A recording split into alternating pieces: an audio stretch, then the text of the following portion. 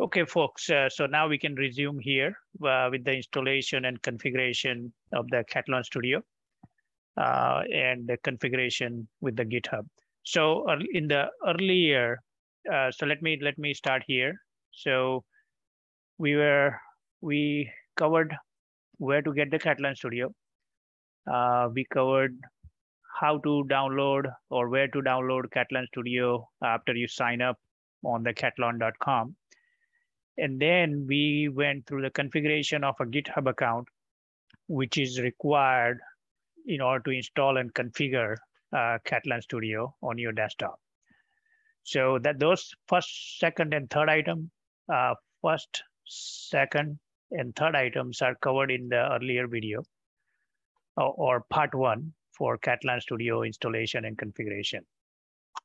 Uh, so in this video, I will cover uh, how to install. Once you once you download the Katalon Studio, then how to go about installation and uh, what you need to configure to make it uh, make it run. So this is where uh, I am on my Katalon uh, Studio uh, on in the cloud. So let me go back here. So I'm going to sign out from here and we'll start here. So I have my account Uh, login and password on the Cat Katalon test ops, and I'll click on sign, sign in.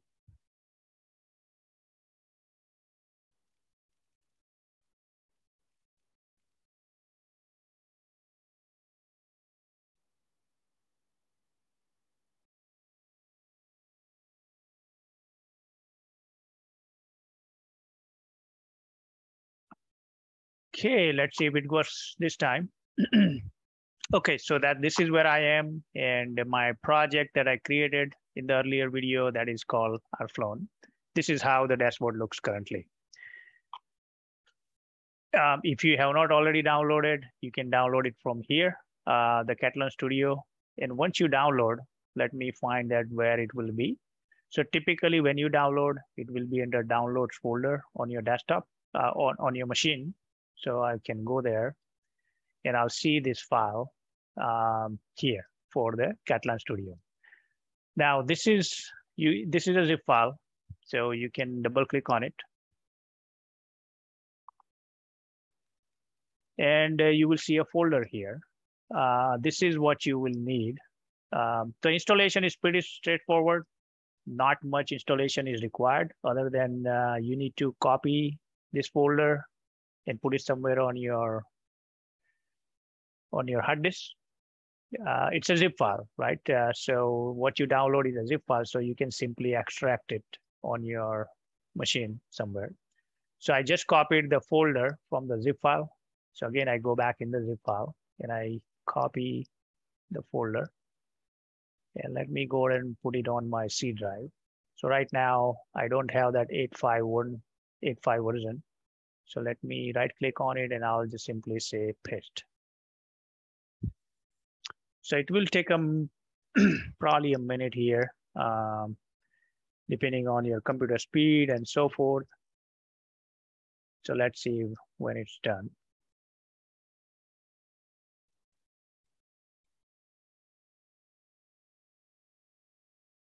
Okay, so installation is about to be, uh, well, unzip extraction uh, or unzip process is about to be done. So, okay, great. So now I have the folder here that is created um, on my on my C drive. And uh, let's uh, continue the setup process. So at this point, I what I can do is I can double click on it, the folder, and you will find this Katalon application here. So this is what you need to click to open it. And if you are on Windows 11 machine uh, or Windows 10, I guess, um, it will ask you, it's not a Microsoft's verified app. You probably want to go ahead and install anyway. So click on install anyway. And it will open up Katalon Studio for the first time.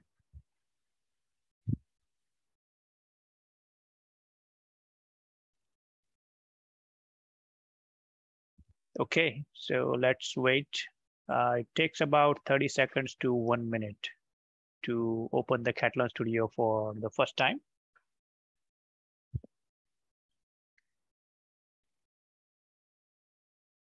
All right. Um,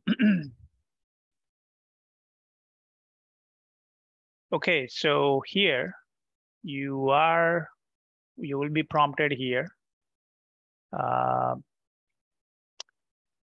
for the Katalon Studio. So again, you need to fill out the information. Uh, if you do not have the project entered, then you, you, you will have to fetch the project for the first time. It says the credentials are invalid. Okay, so let's see where we can uh, configure certain things. Okay, so in the Katalon, you need to go to the test ops, cat, click on Katalon test ops. And it will take you to this particular things. And this is where it's pulling the project name from. So I'll go back to the Katalon Studio and see if I can uh, go back to the tools, uh, test object. Let's see, where do we configure import settings, import keywords. So just get familiar with these menu items here. Um, action, project, debug, test ops, ALM test on management, request. Let's see what we have under Windows, preferences, tools, and so forth.